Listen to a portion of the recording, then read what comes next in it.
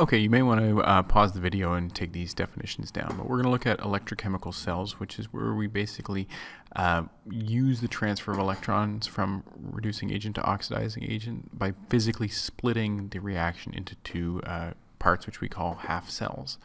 So have a look at these reactions. We know that only one of them occurs. Okay, we looked at this in, a, in the lesson three video. And we know that the reaction that actually occurs spontaneously is the second one. So let's put an arrow through this one. Uh, we know that this doesn't work.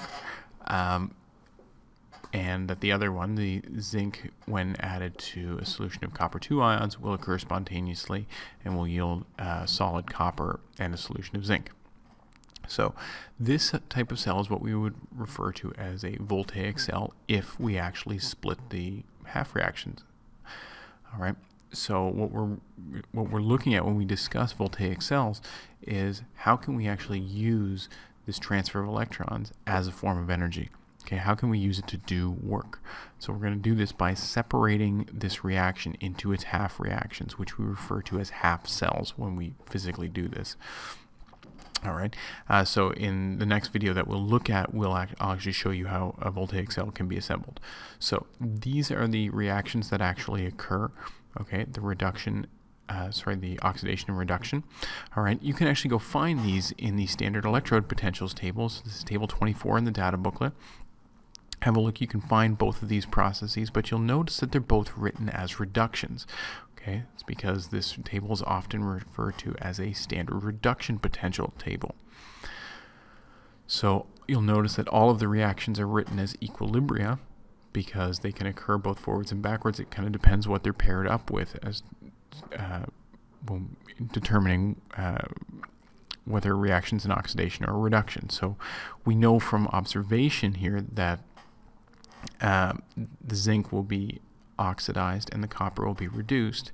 All right, just some help with the actual table itself. Zinc has a greater tendency to lose electrons than copper does, so zinc gets labeled uh, its E naught value, capital E with a little naught, as more negative.